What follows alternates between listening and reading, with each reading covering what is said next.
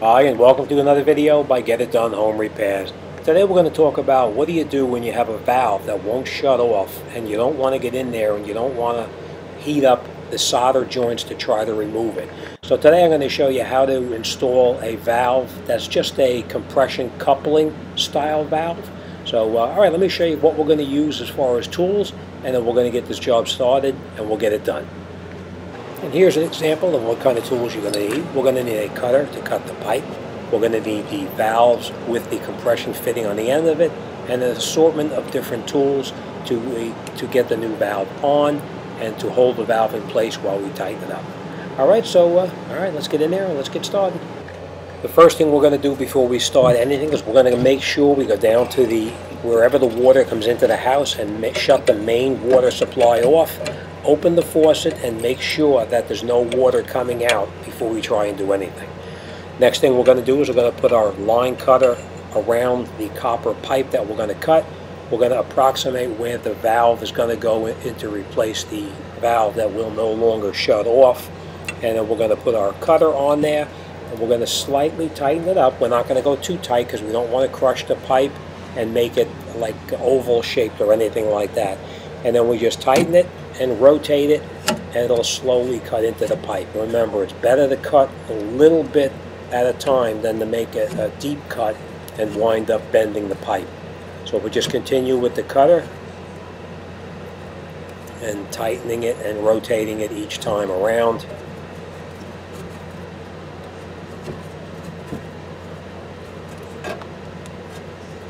And then you'll feel it start to cut in a little bit deeper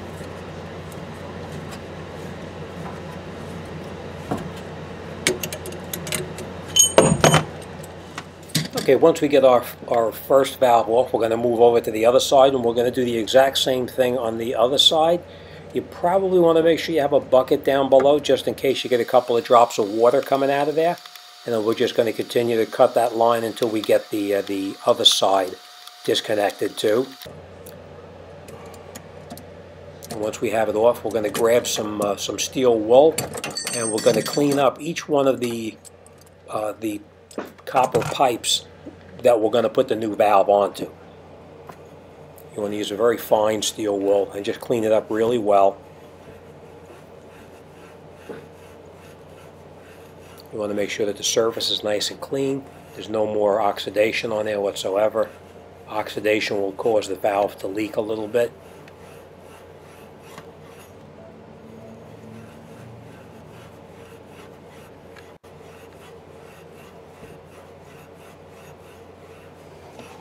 And once you're sure it's nice and clean, we're going to grab a rag and we're going to wipe off any of the um, the particles from the steel wool that we that we cleaned it with. We're going to put the nut down onto the existing pipe from the wall. We're going to put the ferrule over the top of it and make sure the ferrule slides all the way down. The valve then sits on top of that, and you want to make sure that the valve is all the way uh, on down on top of that copper pipe. It has to be all the way in as far as it can go. And then we're going to turn the nut up by hand, and we're going to locate the valve in the direction that we want it to be situated so that it's not going to interfere with anything else when we need to turn it off and on. Now that we're confident that the valve is in a good location, we can start to tighten it up. We're going to grab a wrench and we're going to hold the valve so that the valve itself doesn't rotate and then we're going to tighten up that coupling that's going to crush that ferrule up onto the copper pipe and it's going to also seat it up into the valve and it'll keep it from leaking. It's important that you hold the valve stationary with the wrench while you start to tighten up that the nut with the ferrule inside of it.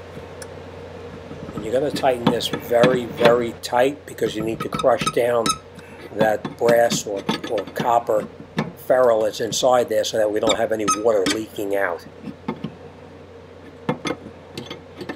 You can see it's a tight squeeze, but if you take the wrench and tighten it as far as you can, and then you rotate the wrench, turn it around upside down, you'll be able to get a better grip on it and you'll be able to tighten it up that little bit more. Now that that valve is clear and it doesn't interfere with the existing valve that we're no longer going to use, we can go over and get our supply lines and reconnect the supply line right up into the valve itself. And then that line will, of course, be connected up to whatever faucet was in the um, in the sink or wherever you're replacing the valve. And once we're sure it's nice and tight, we're going to go over to the other side. We're going to do the exact same thing on the other um, the other pipe too. Make sure we clean all of the oxidation off. Very important is to get a rag and clean everything off of it as well. Again, you put your nut over the top, slide it down as far as it'll go. Put the ferrule over the top as well. Make sure it goes down all the way. It can't be partially down. It has to be all the way down so it slides down the pipe. So that way we can slide the valve down until the top of the copper pipe bottoms out inside the new valve. You'll see how far down it slides. Okay? And now we'll just tighten up that valve the, the nut on the valve. And again, we'll turn the valve so that it's going to be in a location where we can easily turn it off and on as needed and it won't interfere with anything else. Right, we're going to turn this nut and we're going to hold the valve with the wrench so it doesn't rotate. Set it to what location you'd like it to be in or need it to be in. And then we'll get in here and turn the valve or hold the valve stationary while we turn the nut and screw the nut and ferrule all the way up into the bottom of the valve.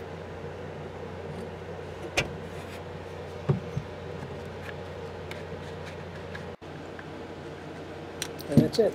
We put our supply lines back on. Now if you have a little bit of a leak coming out of these um, nut and ferrule area, then of course you can just get in there and tighten it up just a little bit tighter and it'll take care of the problem.